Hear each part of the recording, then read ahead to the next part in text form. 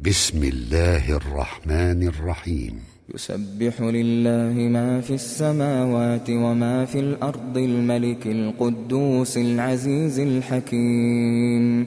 هو الذي بعث في الأميين رسولا منهم يتلو عليهم يتلو عليهم آياته ويزكيهم ويعلمهم الكتاب والحكمة وإن كانوا وإن كانوا من قبل لفي ضلال مبين وآخرين منهم لما يلحقوا بهم وهو العزيز الحكيم ذلك فضل الله يؤتيه من يشاء والله ذو الفضل العظيم مثل الذين حملوا التوراة ثم لم يحملوها كمثل الحمار كمثل الحمار يحمل أسفارا.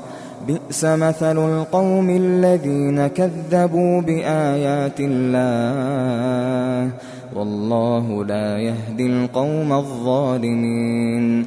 قل يا أيها الذين هادوا إن زعمتم أنكم إن زعمتم أنكم أولياء لله من دون الناس فتمنوا فتمنوا الموت إن كنتم صادقين ولا يتمنونه أبدا بما قدمت أيديهم والله عليم بالظالمين.